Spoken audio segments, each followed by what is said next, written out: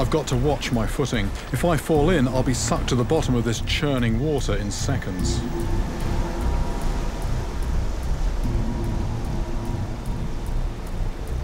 Crocs are hard to see in the water at the best of times, but the foam produced by the falls gives them the perfect cover.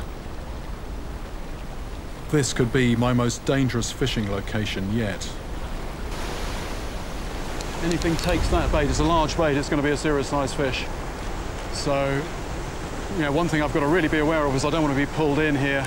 I, oh, fish on.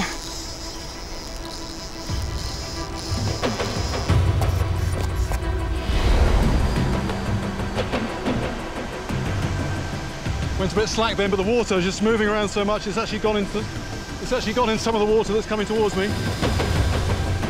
This feels a good size because it's, it's actually coming with the current. It's, up coming out to the surface, coming out to the surface. That's a good size fish. Gosh, that's a good size. This fish is actually going with the current. Ah, it's just stopped.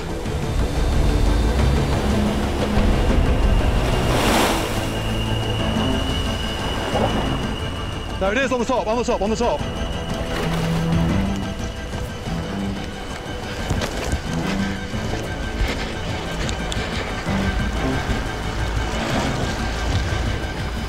Think the fish is tired, but there's a real weight of water behind it. It's right in the side here, it's right in the side. Right in the side. It's tired out. I can't see the fish because there's just all that foam.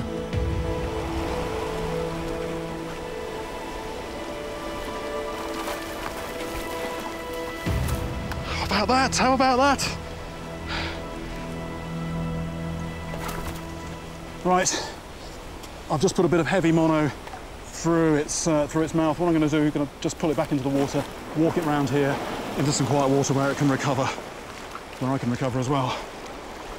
I'm just hoping if there's crocs that they'll prefer the fish to me. It's already starting to get a, a bit more strength back, but I want to make sure it's fully recovered before I have a proper look, because if it goes back in this water, not properly recovered, it's just going to get bashed, possibly to death, on these rocks. I'm going to need the help of my boat driver Etchy, as this fish is too big to lift by myself. It's 112 pounds with the net. We've got to deduct a little bit for that, but that's well clear of 100 pounds. Okay, and then up. Okay, right. This is one lump of a Nile perch, well over 100 pounds, and just what an amazing setting to catch it from.